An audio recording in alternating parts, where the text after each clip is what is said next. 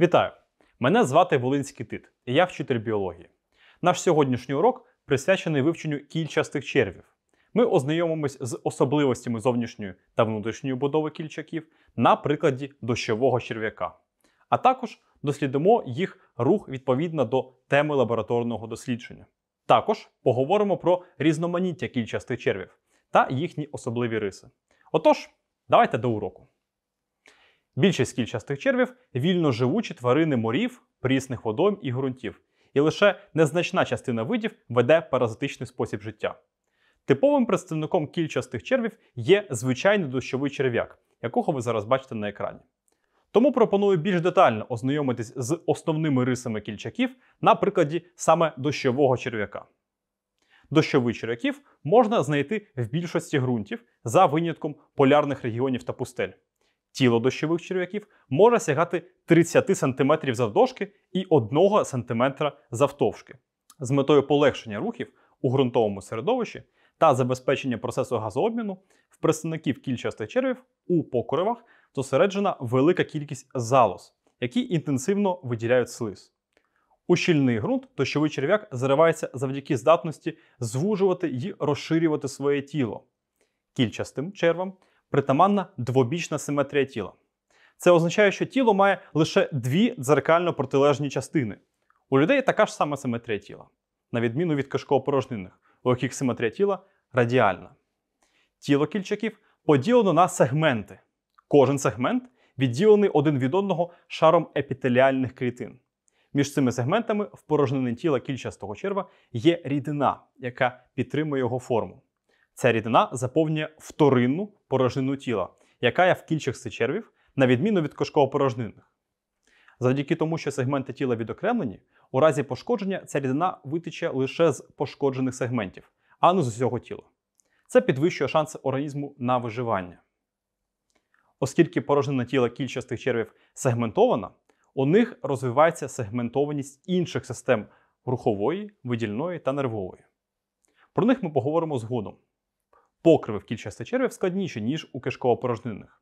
Як ви бачите на екрані, їх тіло вкриває шкірно-м'язовий мішок, що складається з тонкої кутикули, одного шару епітелію та двох шарів м'язів кільцевих і повздовжніх.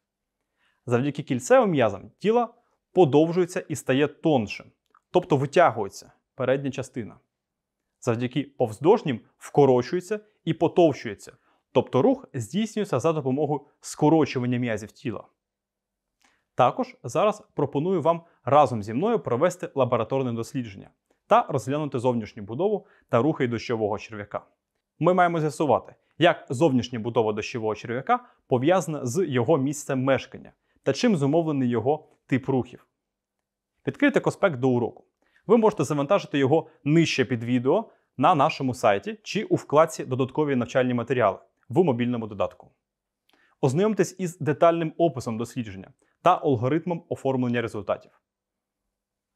Метою нашої роботи є виявлення характерних особливостей зовнішньої будови дощового черв'яка, визначення характерних рис пристосування черв'яків до умов життя в ґрунті. Для цього нам знадобиться живий дощовий черв'як, чашка Петрі чи глибокий прозорий посуд, аркуш паперу А4, препарувальні голки або просто голки для шиття чи зубочистка, лупа, сантиметрова стрічка або лінійка. Розгляньмо живого дощового черв'яка, що знаходиться в цьому прозорому посуді. Як ви бачите, черв'як має витягнуте, округле в поперечному розрізі сегментоване кільчасте тіло. Давайте вимірюємо його довжину і запишемо отримані дані. В мене виходить близько 9 см завдовжки та 0,3 см завширшки. Зверніть увагу на колір черва. Він рожевий. Чому він такий, ми ще поговоримо. Тепер знайдіть передні та задні кінці тіла. Передній буде більш загострений, на ньому міститься ротовий отвір. Задній же кінець тупий. Зверніть увагу на особливу частину тіла поясок. Від наявності цього пояска походить назва класу пояскові черви. Ще раз погляньте на тіло дощового черв'яка. Ми можемо виділити черевну та спинну частину. Скористаємось лупою. За допомогою неї можна розглядіти щитинки, які розташовуються на черевному боці тіла. Візьмемо аркуш паперу, Розмістимо на ньому дощового черв'яка. Трохи почекаємо. Черв'як починає рухатись, вигинаючи тіло. Уважно прислухайтесь, ви почуєте шурхіт. Такий звук створюють щитинки, розташовані на кожному членнику черевної частини тіла. Щоб побачити щитинки, скористайтеся лупою. Далі простежимо за пересуванням черв'яка.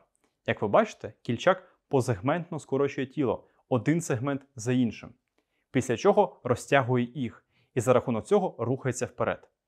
Ви можете бачити, як дощовий черв'як спершу обирає напрямок руху, орієнтуючись на інформацію від органів чуття. Ми розглянемо їх далі. А лише потім скорочує м'язи сегментів у певному напрямку. Оскільки він не має кінцівок, такий тип руху залишається найефективнішим в його ґрунтовому середовищі існування. Тепер припаривальною голкою доторкніться до шкіри черв'яка в різних частинах тіла. Як ви бачите, він починає скорочувати своє тіло.